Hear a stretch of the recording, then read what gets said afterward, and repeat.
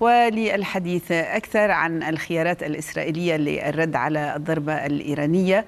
ينضم إلينا من لندن الكاتب والبحث في الشأن الإيراني وجدان عبد الرحمن أهلا بك دائما معنا أستاذ وجدان. أهلا بك إلى هذه الساعة الأخبارية. يعني في سياق ما نسمعه من تصريحات من كلا الطرفين. وطبعا وفقا لهيئة البث الإسرائيلية إسرائيل قررت الرد بشكل حاسم وواضح ولكن دون التسبب بحرب شاملة. ماذا يفهم من هذا الكلام؟ خاصة يعني وأنها متفقة بشكل أو بآخر مع الولايات المتحدة الأمريكية على طبيعة هذا الرد.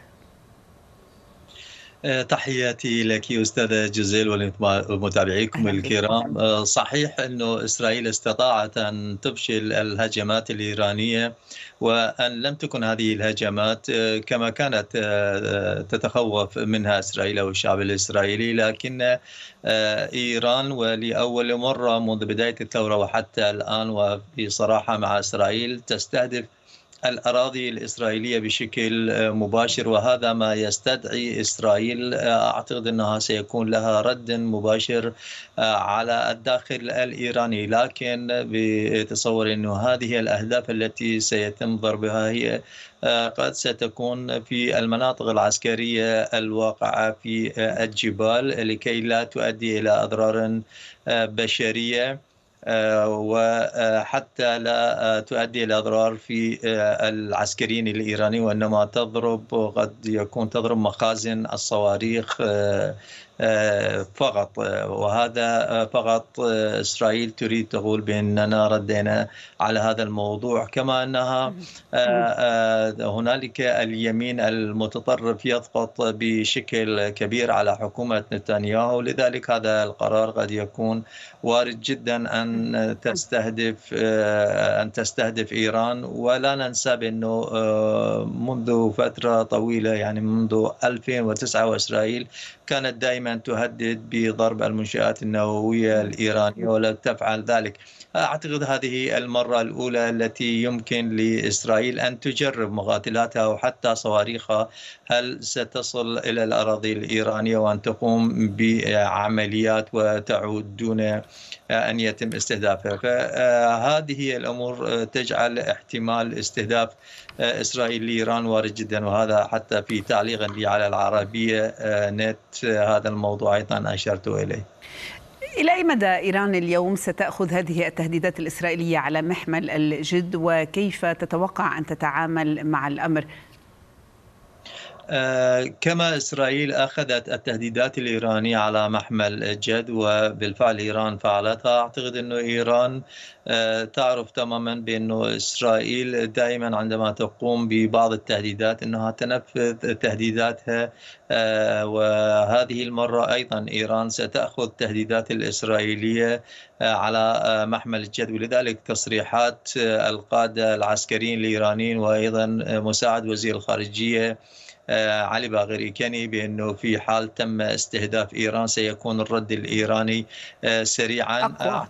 كل هذه الأمور تبين بأن إيران بالفعل تأخذ التهديدات الإسرائيلية على محمل الجد. لكن بتصوري في حال تم هذا الاستهداف ولم تكن هنالك ضحايا سيكون هنالك بعض الرد الإيراني ولكن لا أعتقد أن الرد الإيراني سيكون على إسرائيل بشكل مباشر وإنما قد يكون في بعض في بعض المناطق التي يوجد هنالك تواجد وكلاء إيران. وكلاء وكلاء إسرائيل يعني يمكن نعم. تسميتهم وليس وكلاء إيران لأن عادة إيران دائما تتهم بعض الأطراف إن كان في شمال العراق أو في أماكن أخرى بأنهم وكر للاسرائيلي وتنهي الأمر بذلك. وأعتقد التصريحات الصينية أتت في هذا المجال بأنه إيران لديها إمكانية السيطرة على الوضع. هل نستطيع القول اليوم بعد هذا الهجوم الإيراني بهذه الكثافة وبالرغم من أن العديد اعتبره بمثابة مسرحية هل رسمت فعلا قاعدة جديدة للتشابك للمواجهة؟ هل فعلا يعني استطاعت أن تكشف منظومات الدفاع الإسرائيلي؟ أم أن هذا الكلام مبالغ به؟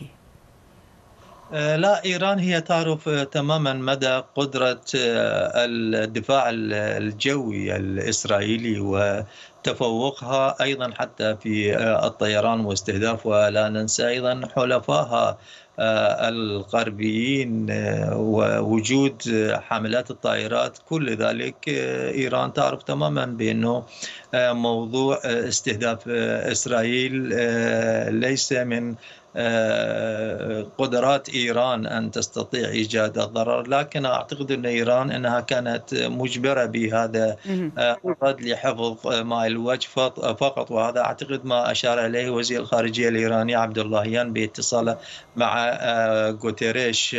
لكن إيران هي أرادت فقط حفظ ماء الوجه ولكن بعد هذا الاستهداف شاهدنا أنه إيران بصراحة أصبحت محل سخرية للشارع الإيراني قبل غيره. نعم. وزارة الخزانة الأمريكية تعهدت اليوم بمزيد من العقوبات باعتبار إيران هي مزعزعة للأمن في المنطقة.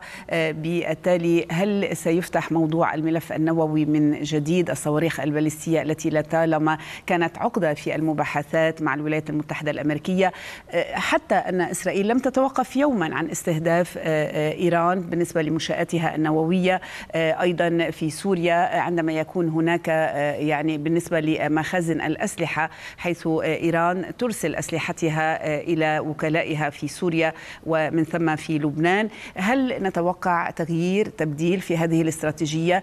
ويعني ما المقصود من مخاوف جروسي؟ هذه المخاوف دائما كانت قائمة لا سيما بعد الاستهدافات السبرانية و أيضا هل نتوقع اليوم عودة الولايات المتحدة الأمريكية إلى سياسة العقوبات مجددا بعد يعني هذا التصريح من قبل الخزانة الأمريكية؟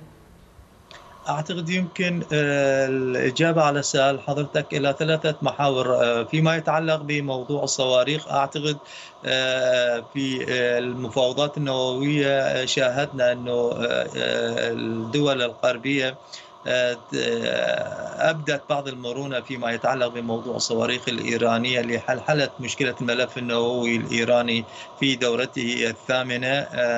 لكن أعتقد في حال كانت تنتظر إيران أو الولايات المتحدة العودة إلى المفاوضات برأيي إنه هذا الموضوع سيعقد بشكل أكبر مما كان عليه في السابق، أما في خصوص تصريحات غوروسي هذا وارد جدا لأن الوكالة الدولية تحافظ على تحافظ على موظفيها وتبعتهم لمسائل احترازية خوفا من استهداف وتاخذ كل الاحتياطات بالكامل أما عن العقوبات الغربية. أعتقد أن الهدف منها هو إثناء إسرائيل على عدم مهاجمة إيران والاكتفاء فقط بموضوع العقوبات. ونشهد أن ستكون هنالك عقوبات أوروبية وأيضا عقوبات أمريكية.